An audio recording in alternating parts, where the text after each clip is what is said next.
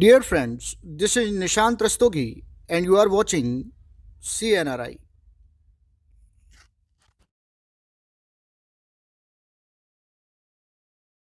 dear friends आज मैं आपको इस चैनल के बारे में बताना चाह रहा हूँ। इस चैनल की शुरुआत एक्चुअल में केमिस्ट्री डाउट सॉल्विंग से शुरू हुई थी।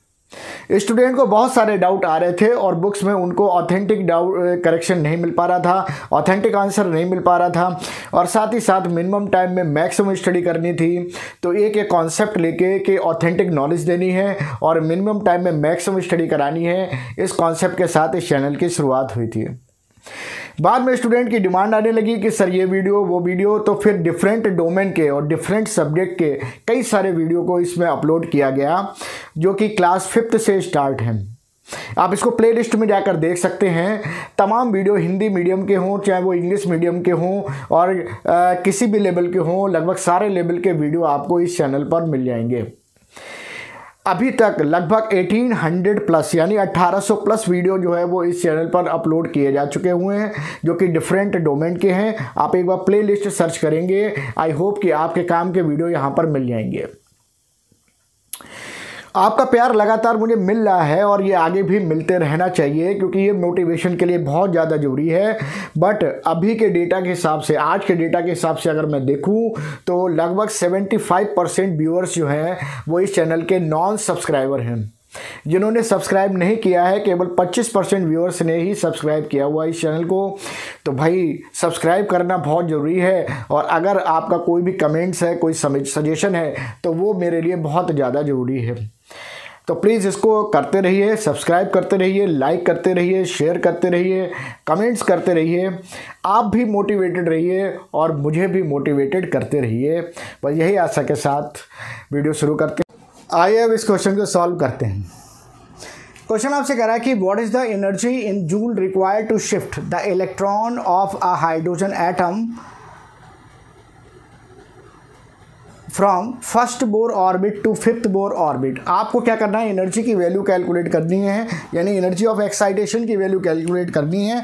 कब? जब इलेक्ट्रॉन जो होगा वो फ़र्स्ट बोर ऑर्बिट से फिफ्थ बोर ऑर्बिट में मूव कर रहा है। यानी एन वन की वैल्यू ये है और एन टू की वैल्यू ये है। चलिए ठीक है।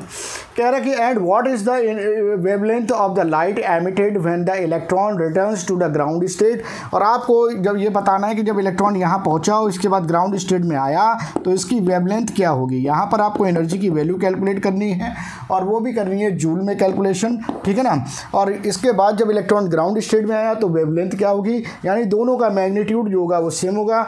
यहाँ पर एनर्जी का साइन प्लस में और यहाँ एनर्जी का साइन माइनस में हो जाएगा। वो सही है। एनर्जी यहाँ पर रिलीज़ होगी। और यहाँ पर एब्जॉर्ब होगी। चलिए ठीक है।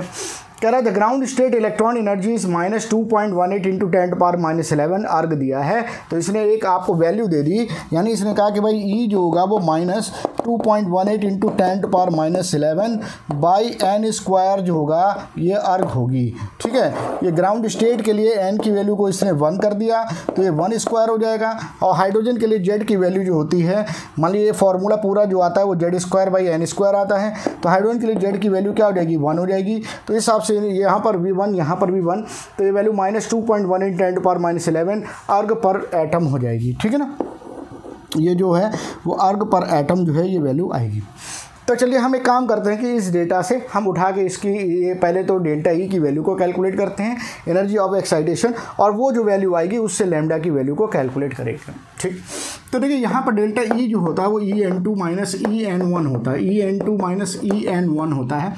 तो आपके पास में ई एन टू की वैल्यू क्या है? फाइव है। तो यानी कि E five minus E one हो जाएगा। सही है ना? ठीक।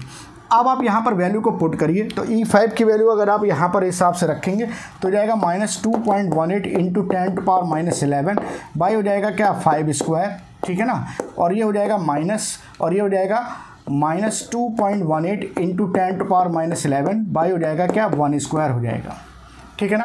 तो इसका मतलब क्या हो जाएगा? इसका मतलब जब आप इसको देखेंगे तो ये 2.18 point one eight into ten to power minus eleven common आ जाएगा और ये आपका one by one square minus one by five square हो जाएगा। ठीक है ना? जब आप इसको सॉल्व करेंगे तो आप देखेंगे ये वैल्यू प्लस में हो जाएगी और ये वैल्यू माइनस में है। तो ये प्लस माइनस इधर आ जाएगा। तो उस हिसाब से minus one by one square sorry one by one square minus one by five square हो जाएगा। तो ये वैल्यू जो आएगी वो two point one eight into ten to power minus eleven और ये हो जाएगा one upon one square one हो जाएगा और minus one upon twenty five हो जाएगा। ठीक है ना?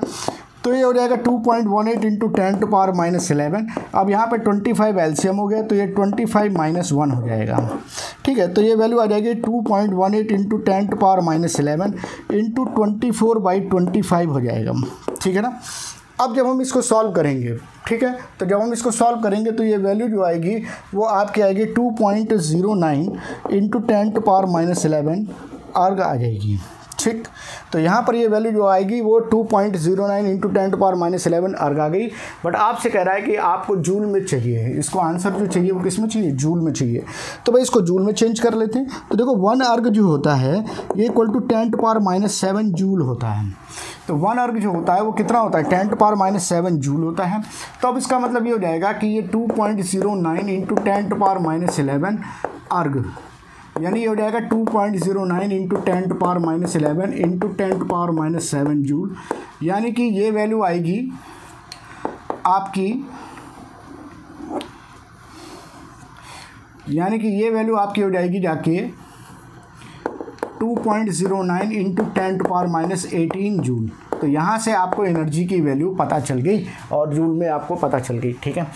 अब उसके बाद क्या क्या क्या क्या कह रहा है कि भाई आपको कह रहा है कि what is the wavelength of the light emitted when the electron returns to the ground state यानी इसी का आपको वेव लेंथ कैलकुलेट करना है।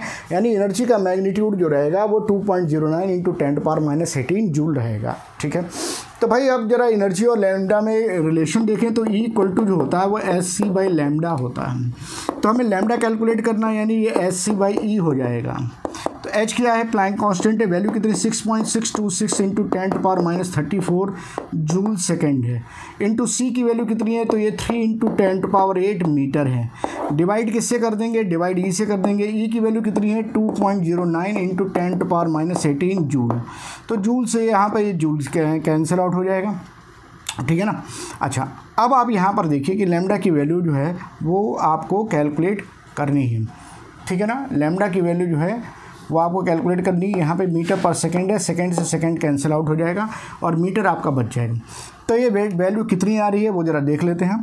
तो यहाँ पर देखिए ये हो जाएगा six point six two six into आपका थ्री हो जाएगा और बाई हो जाएगा टू पॉइंट ज़ीरो नाइन ठीक है इंटू ऊपर में देखेंगे तो ten to power minus thirty four है into ten to power eight है और नीचे ten to power minus eighteen है। तो यहाँ पर आप अगर देखेंगे तो ये वैल्यू जब आप इसे सॉल्व करके लाएँगे तो ये आंसर जो आएगा, वो आएगा ninety nine fifty one into ten power minus ten metre यानी कि इसको लिख सकते हैं नाइन फिफ्टी वन एंगस्ट्रॉम काहे लिए? क्योंकि वन एंगस्ट्रॉम जो होता है, ये ten power minus ten metre होता है। तो इस तरह से आपको समझ में आ रहा है कि आंसर जो आएगा, वो आपका नाइन फिफ्टी वन एंगस्ट्रॉम आ जाएगा।